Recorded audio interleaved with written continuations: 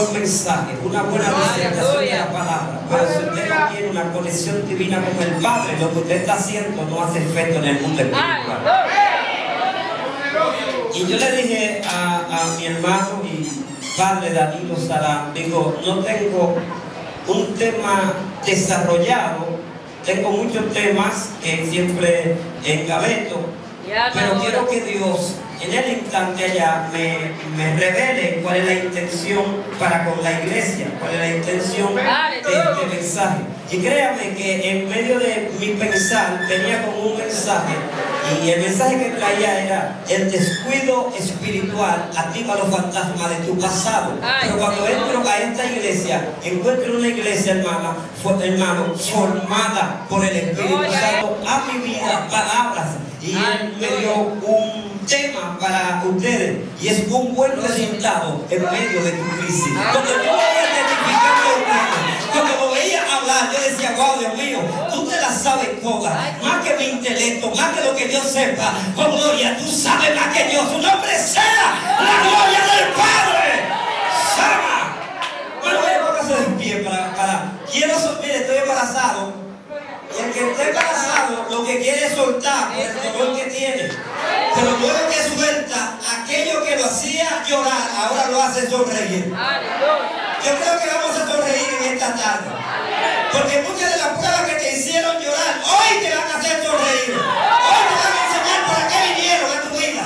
Jamás santa. Yo siento la presencia del Padre en esta hermosa tarde, gloria. Primero, tiene que ser un buen segundo.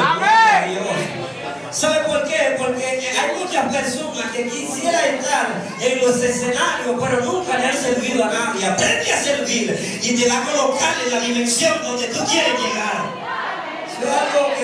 En su capítulo 4, versículo 16 al 18. Cuando todo lo tenga, me pueden responder con una vez. Iglesia Arca de Salvación de Calle Medio, pastor y ministro José Fabal, un hombre de Dios. Amén. Aleluya. ¿Todo lo tienen? Amén. ¿Todo lo tienen? Amén. Aleluya. Y por ser palabra del Señor, la vamos a leer bajo la comunión del Padre, del Hijo y del Espíritu Santo. Amén. Dice así la palabra del Señor. Por tanto, no te marchemos antes, aunque este nuestro hombre interior se va desgastando. El interior, no obstante, se renueva de día en día. Porque esta leve tribulación momentánea produce en nosotros un cada vez y un más excelente eterno peso de gloria. No mirando nosotros las cosas que se ven, sino las cosas que no se ven. Pues las cosas que se ven son temporales, pero las cosas que no se ven son eterna. Una crisis no es más que una situación decisiva o peligrosa que le sucede a una persona. Esto es una crisis.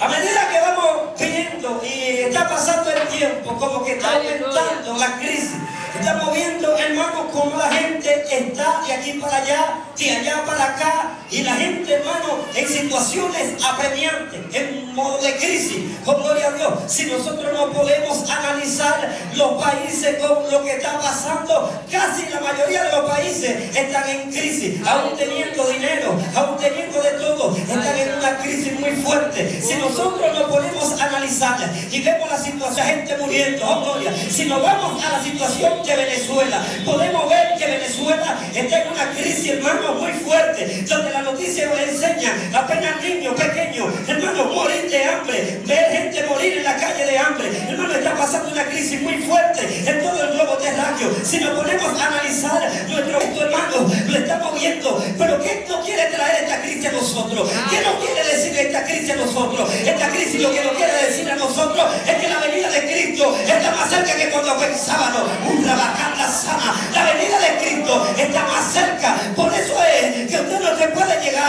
en estos tiempos de política. Tiene un político que va a resolver tu problema, va a resolver tu deuda. La Biblia dice, y esto irá de mal en peor. En pocas palabras, cuando esto está sucediendo, la iglesia se afirma. ¿Sabe por qué?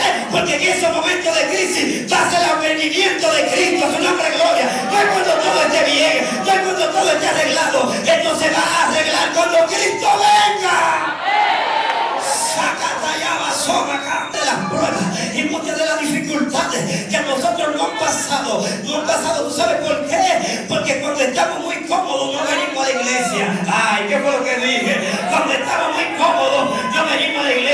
El momento que aquella crisis, que aquella situación te impulsa a venir temprano, te impulsa a venir a orar. ¿Sabe para qué? Para poder reivindicarte y ponerte en la posición correcta que Dios te ha llamado. ¡Oh, gloria a Dios! Denle un aplauso al Señor.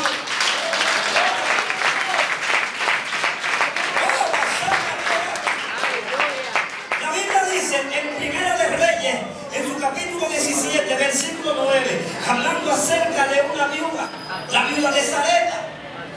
La Biblia dice, le, le dice a Jehová, levántate, vete a Y por allí, he aquí que yo he dado orden allí a una mujer viuda que te sustente. Aleluya. Aleluya. Cuando yo me pongo a analizar este pasaje bíblico, me impresiona y me llama la atención porque a la viuda es que hay que sustentar.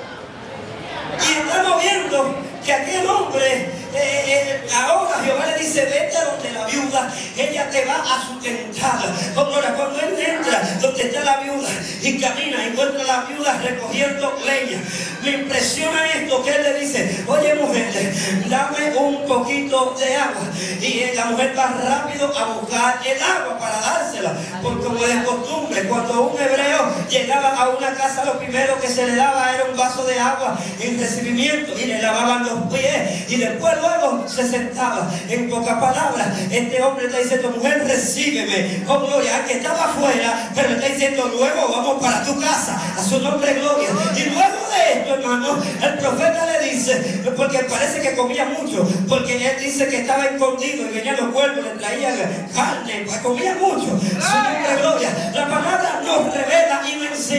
Que cuando él le dice, mira, y también tráeme una torta cocida en tu mano. Esta mujer, hermano, gritó, ay, vive Jehová, en cuya presencia un chinchín de harina, un chinchín de aceite, para comérmelo mi hijo y yo y dejarlo morir, porque la crisis está muy fuerte. ¿Sabes lo que le dice el profeta? Vea como yo te ha dicho, vea aquello. Aquella mujer fue obediente. En medio de la crisis, tú sabes lo, lo último que tú tienes. En medio de una crisis, ¿eh? ¿sabes lo que Dios te está diciendo? Dame lo último que te queda en tu crisis, porque voy a hacer un milagro financiero.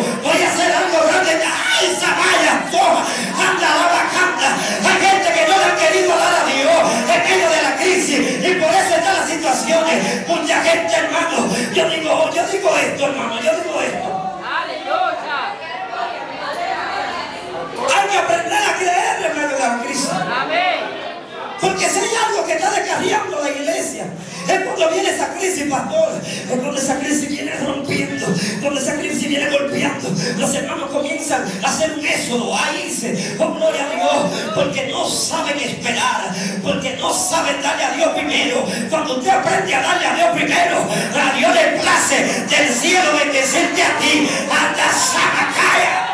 Y dice la palabra del Señor, gloria a Dios que cuando esta mujer decidió ir a, a llevarle al profeta, le en tu mano. Aleluya. ¿Sabe por qué le dice, tráelo en tu mano? Dándole el significado que como tú das, así vas a recibir. Y porque el brazo de Jehová la mano de Jehová no se ha detenido todavía. El brazo de Jehová está todavía para bendecirte, Dios mío. Mi alma adora la gloria del Padre. En esta hermosa tarde, yo quiero decirle a alguien, yo quiero decir, tocar, tocar tus intereses y que aprenda a probar a Dios. Hay gente que son muy buenos, avanzando, hablando en lengua y orando, pero no diezmando, avanzaba. Son muy buenos hablando lengua, danzando, pero no enfrentando. Levanta la mano para arriba